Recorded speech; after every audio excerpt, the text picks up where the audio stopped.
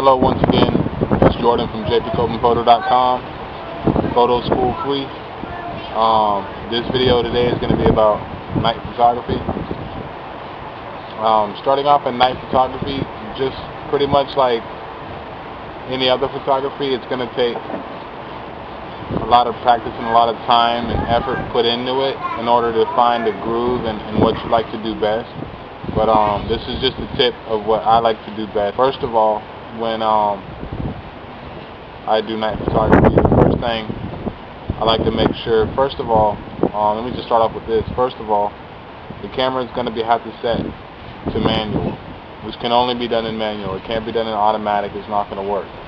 But um, I'll guide you through it and make the process a little bit easier. I have my um, camera set on RAW. I always have my camera set on RAW.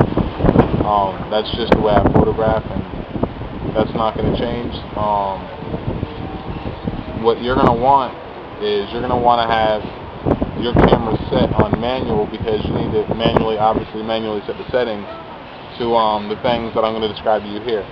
First of all, the way I like to do it, I like to have my ISO the lowest possible. Some people like to have it higher, but that's not my that's not my style. I guess if you're going to be taking pictures of the stars and you want the stars to shine pretty bright, to have your ISO a little higher might help or even to say um, set your aperture down a little bit. But just this is what I like to do. I like to set my ISO the lowest it can go, or at least 200 and um, I'll set my my uh, aperture to around like f9 to around like f f9 to f16 and uh, I'll just play with the light because the shutter is what's mainly going to be that's that's that's the main component of uh, night photography is the open long exposure the, the shutter being open for a long period of time so the other settings matter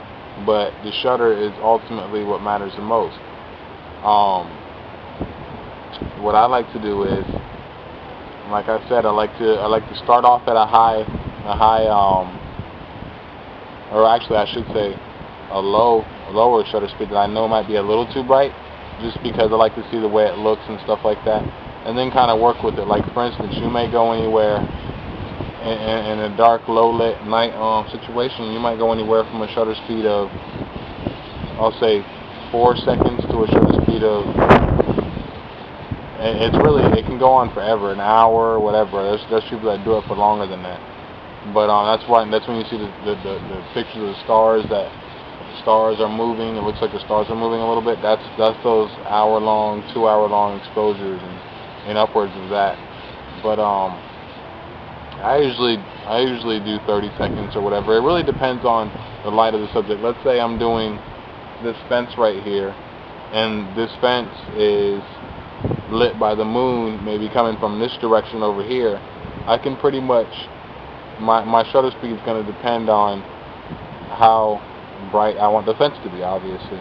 And then um, also then you have when you when you set your shutter speed that bright, you're going to have the brightness in the sky a little bit or whatever and then you can go back into uh, your editing program, whatever it may be, um, and edit the white balance and stuff like that. Just stuff that just you know what I mean. Just got to play with it. It's one of them things where I can give you some pointers, but it's going to be the kind of thing where you're going to have to take your DSLR camera, and this is, it is by the way, this can only be done on a DSLR camera because the functions that you need to use 90% of the time are only on DSLR cameras. They're not really found on a small compact camera. So if you have a small compact camera, this probably is not going to be possible, and I'm sorry to sorry to tell you. But um, yeah, that's basically it. You get your DSLR, you you set it to a low ISO and a medium aperture, so you can get a nice kind of clear.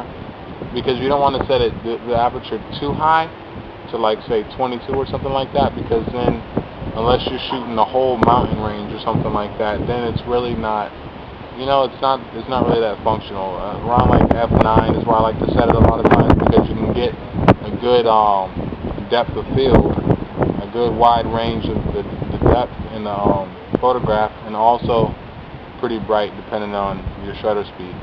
So yeah, that's that's basically that. I hope that answers uh, your questions. Um, let me think if there's anything else. Nope, can't think of anything else. Alright, well, uh, yeah, that's just it. Just get out there, pick up your camera, take photographs, see what works for you, develop your own style, and shine. Peace out.